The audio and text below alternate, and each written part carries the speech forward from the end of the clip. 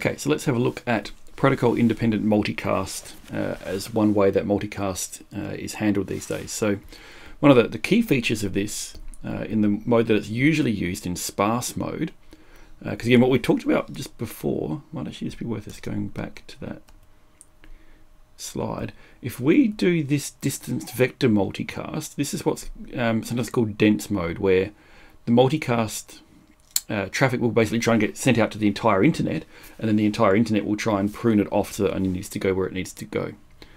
Uh, so that it only goes where it needs to go.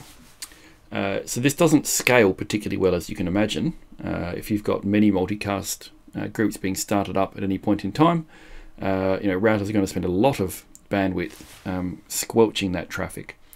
So instead, PIM protocol independent multicast gives us a sparse mode option uh, where uh, clients basically have to ask to join, or routers have to ask to join uh, multicast uh, uh, groups. And so this is done using uh, rendezvous points. This is RP, is the, the rendezvous point. And so some client behind R4 will ask to join some multicast group that's coming from, you know, so R1 will have the source behind it, we'll say. So we'll send a join message um, and R5 uh, will also uh, send a join message. They will find their way up to the rendezvous point.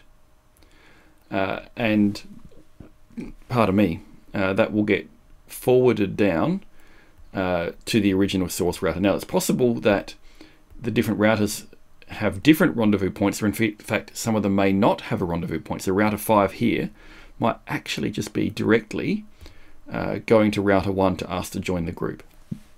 And the rendezvous points are often uh, high bandwidth routers uh, in the backbone, and that can either be manually configured, pardon me, or the, the router, uh, rendezvous point may be chosen using some uh, other protocol in there. So kind of, there's a little bit of kicking the can down the road uh, in terms of the rendezvous point piece. Um, but in many cases, you know, again, for if you like, uh, you know, retail ISPs connecting to a wholesale backbone ISP, uh, the backbone ISP might simply say, I, I, will be your rendezvous point for all multicast traffic to make things more efficient.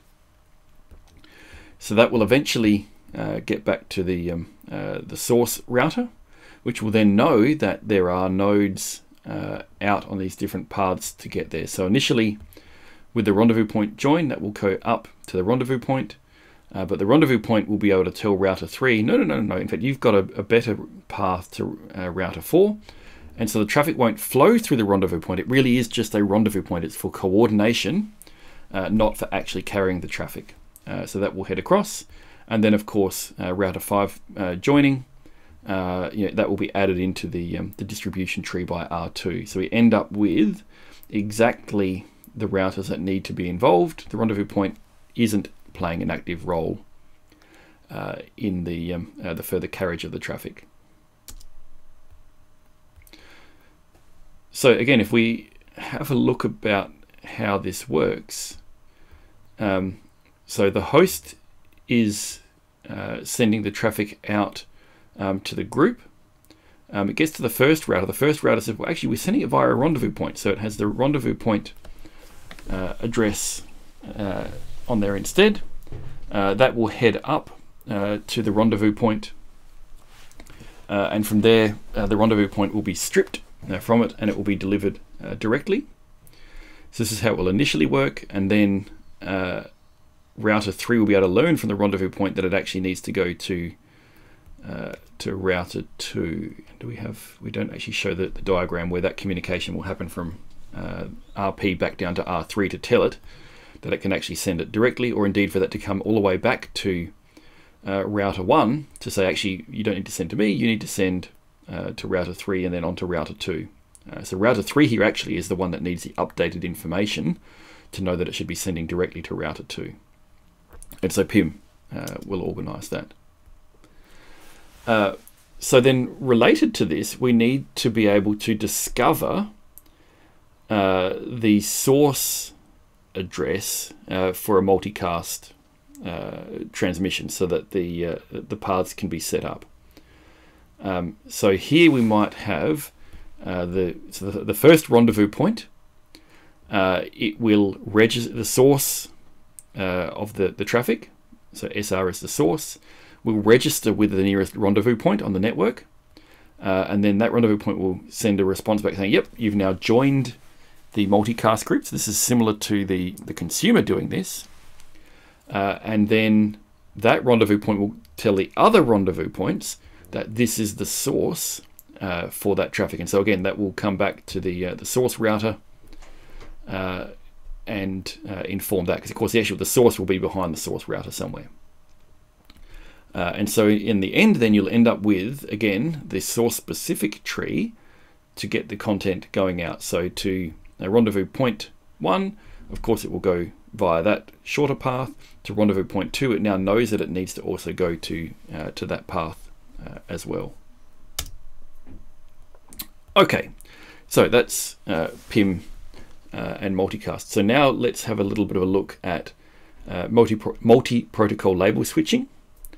Uh, and so this was devised in the 90s to really be a, a bit of a, a hybrid between the datagram-based switching uh, that the internet normally does and virtual circuits, which were quite common, more common then than they are now. Uh, partly because, again, the bandwidth and the routing speed wasn't as good uh, as it is now, and so virtual circuits still had some more natural advantages.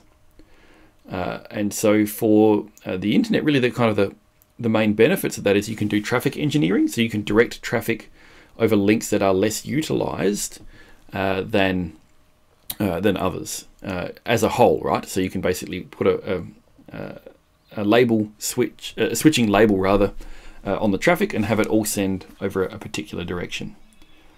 Um, the other thing that we can do is virtual private networks, uh, where you're purposely creating a, a, tunnel between two locations. So in effect, you're doing this via uh, routing rather than needing to do it through further encapsulation. Uh, and so this can also be used for uh, for supporting mobility. And again, these are kind of related issues, right?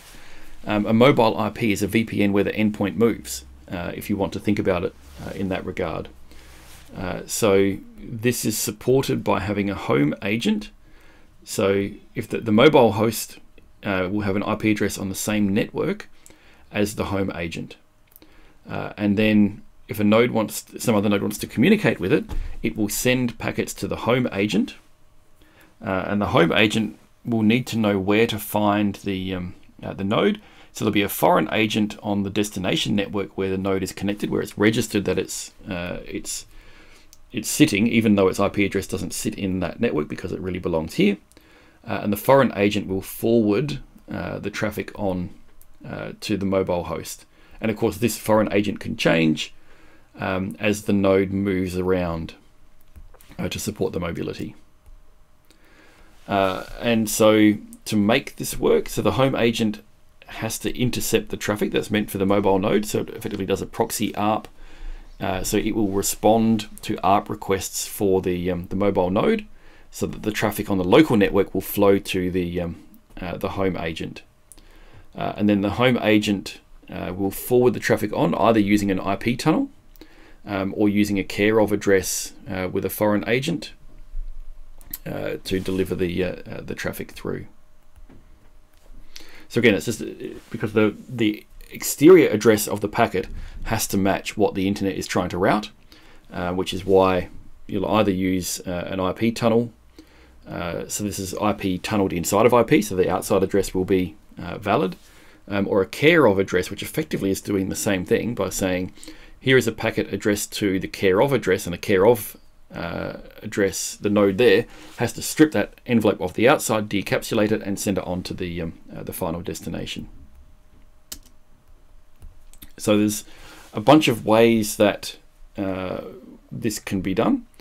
Um, if you do it naively, you have this kind of triangle routing problem where you know uh, two nodes might actually be right next to each other. So the you know the the home network, oops, the, uh, the home network for a node might be over you know over here somewhere, and there's a sender who wants to send to it, but the node has actually moved to be next to the sending node. So the sending node will be sending traffic all the way across the network and it comes all the way back again when in fact it could just be sending it you know, directly. Um, so one solution to this is to let the sending node know the care of address, uh, and then it can create its own tunnel directly there. Uh, and so uh, that can be much more efficient. It requires that the senders have some support for mobility for this to work then efficiently. Uh, and we have to kind of manage this idea of a binding cache to say where these particular addresses uh, can be found uh, and to expire them as the node moves around because otherwise you know, it's a bit like mail redirection if you leave it on too long your post ends up somewhere strange rather than uh, where you actually want it and need it okay so we've had a bit of a, a look uh, at a bunch of these kind of uh, issues around scalability and in particular uh, you know it's measures that allow abstraction of the network structure uh, based on where the consumers and producers of traffic. So multicast does this uh, to in some ways. Uh, mobile, you know, IP mobility does this in other ways, and so this then becomes much more important. Again, we, we think about the kind of you know the cloud services, you know, online video conferencing kind of things, or uh, online distributed file storage, messaging, the like you know, all of these things tend to be running in cloud services rather than actually in, uh, you know, dedicated physical data centers because it's cheaper to do, right? And much more adaptable and flexible. Uh, and so, you know, having these efficient ways to deal with traffic being produced and consumed in different and somewhat arbitrary places around the internet uh, become much more uh, important. So we have multicast, we have traffic engineering, IP mobility. Um, these have become key enablers for cloud services. And so the cloud service providers basically absorb these into their offerings so that they can be provided transparently uh, to the users, you know, to their clients, their customers uh, who obtain their services. Okay, so again, stepping one step further back. So, you know, we've talked a bit about these different kind of scalability issues around the internet um, and IPv6 that was kind of brought in as a potential solution to that. Uh, and there's still, you know, 25 years later plus, uh, is really still not seeing tremendously high adoption rates. Uh, perhaps because it tried to solve too many things. Uh, perhaps because NAT relieved the initial pressure uh, that led to its uh, creation. We've talked a little bit about multi-protocol label switching uh, and mobility and, and these sorts of things to, again, get this idea of really a, a modern dynamic uh, internet that has grown to do much more than what the internet originally was envisaged uh, to do and at a much higher scale. And this is what enables these services that we, you know, we all now come to know, enjoy, and in, in many cases to rely upon. So that's it for this chapter, and we'll see you back for chapter 5.